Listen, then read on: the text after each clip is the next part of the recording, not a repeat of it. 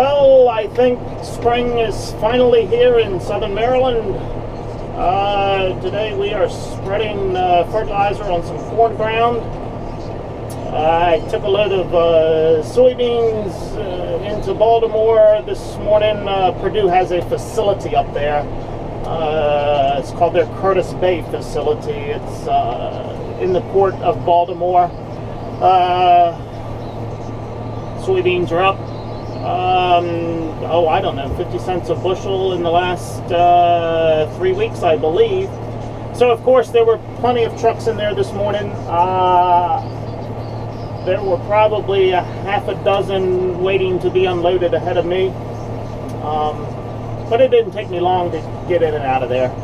Uh, so then I came down from Baltimore, stopped in uh, Charlotte Hall at the fertilizer uh, facility at uh, Kirby Agri and when I pulled in there at, oh, I guess it was 10:30, there was there were no trucks in there whatsoever, and I thought, what the hell is wrong? A beautiful day like this, everybody should be out uh, spreading fertilizer, picking up chemicals to spray.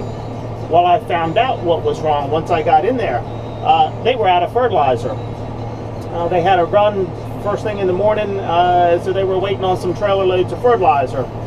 Uh, so I know some of the guys at Hall Fertilizer, they were ahead of me in line in Baltimore dumping soybeans, so they were headed over to get fertilizer when they left there. So I didn't have to wait long, maybe 15 minutes for the first trailer to show up with some potash so they could put my mixture together, uh, the fertilizer that I needed. They blend it right there on the facility, um, you know, whatever you need, whether you need a 5, 13, 23, or you know any kind of combination.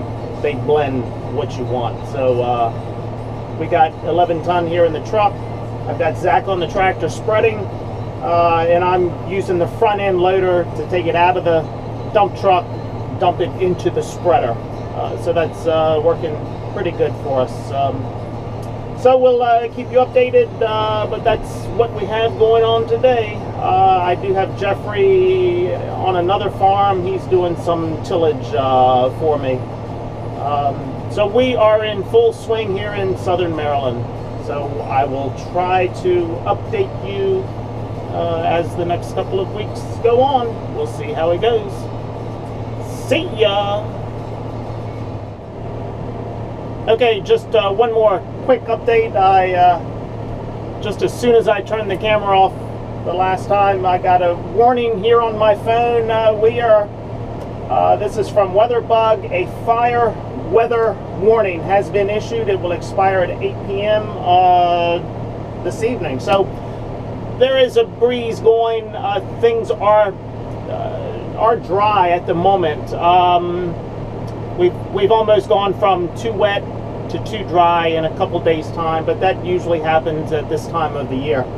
Uh, but yes, so we are under a um, fire weather warning. Not quite sure I've seen that warning before, but that's my government uh, protecting me from me. It's kind of like making me wear a seatbelt when who does that protect?